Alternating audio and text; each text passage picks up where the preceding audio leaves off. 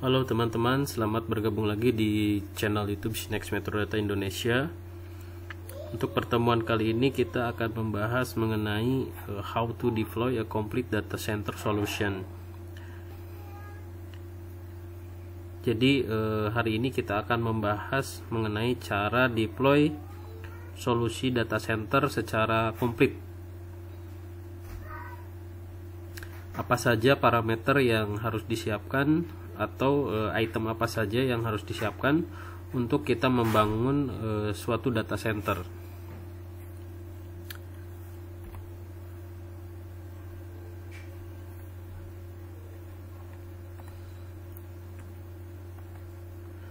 Oke, nah ini uh, kita bisa lihat di sini untuk membangun suatu data center atau uh, mendeploy a complete data center kita memerlukan beberapa item. Di antaranya kita mengenal dengan istilah electrical supply. Lalu eh, selain electrical supply kita juga mengenal dengan istilah UPS gitu ya. Nah jadi suatu data center itu biasanya tidak akan bisa running kalau tidak ada electrical supply. Nah lalu setelah adanya electrical supply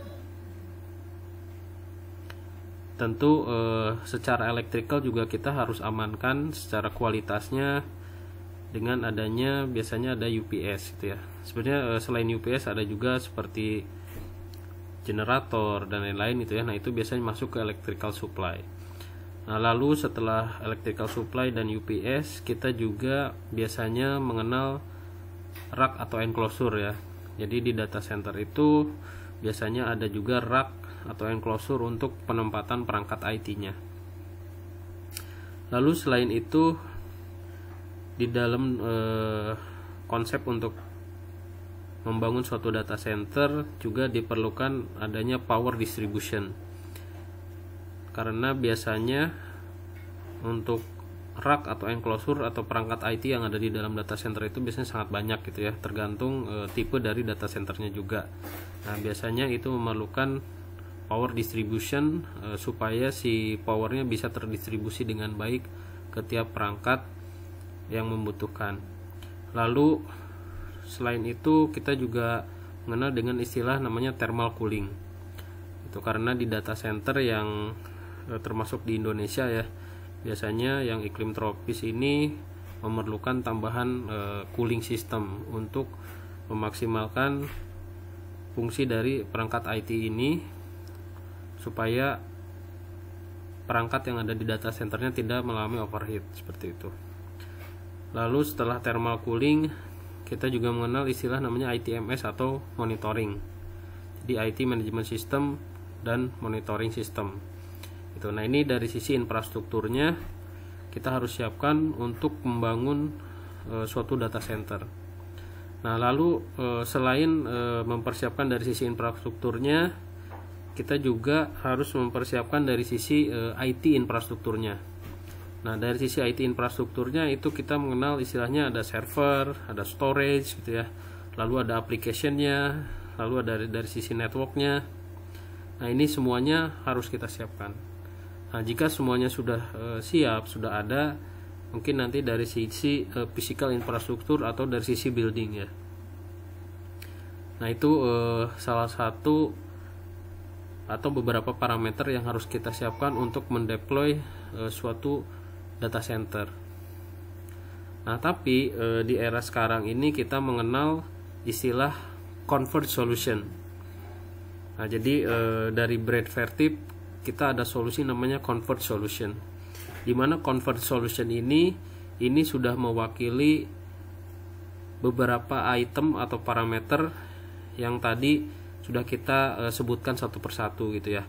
Nah, di dalam uh, convert solution ini di antaranya sudah ada electrical supply seperti dari UPS, lalu sudah ada rack atau enclosure, sudah ada power distributionnya, sudah ada thermal cooling, dan juga sudah ada ITMS dan monitoringnya. Nah, itu e, merupakan convert solution yang ada dari Vertip, di mana solusi ini sudah memungkinkan customer untuk membangun complete data center solution. Nah, jadi nanti customer atau uh, end user itu tinggal mempersiapkan perangkat IT-nya saja. Jadi di dalam convert solution ini nanti ada space untuk penempatan perangkat IT-nya. Gitu. Jadi untuk server, storage, application, network, nah ini semua yang masuk ke dalam IT infrastrukturnya bisa dimasukkan ke dalam convert solution dari Vertip. Nah, untuk uh, Vertip convert solution ini kita ada beberapa kategori. Di antaranya ada smart cabinet. Ini merupakan uh, convert solution per single rack gitu ya. Jadi tadi kita sudah sebutkan ada UPS uh, lalu ada power distribution lalu ada rack UPS ada uh, power management modulnya ada IT management ada infrastrukturnya gitu ya. Ada thermalnya semuanya nah ini uh, kita punya per single rack namanya kita e, sebut dengan smart cabinet. Nah, ini kita sudah e, generasi kedua gitu ya. Jadi kita sebut dengan smart cabinet 2 nah lalu kita juga punya convert solution per row. Jadi kalau di smart cabinet itu hanya per single rack nah kita juga punya solusi yang per row. Jadi ini e, multi per rack.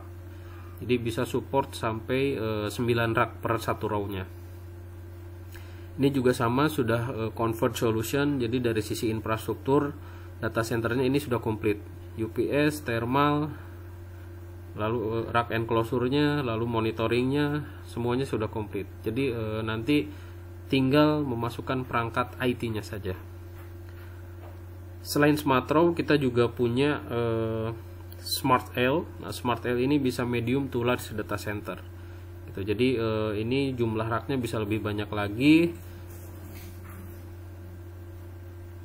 Dan juga dari sistem uh, containmentnya ini uh, konsepnya lebih berbeda ya. Jadi kalau yang sebelumnya itu rak per row dan yang ini per L. Jadi uh, nanti udara dinginnya dikurung di dalam L-nya.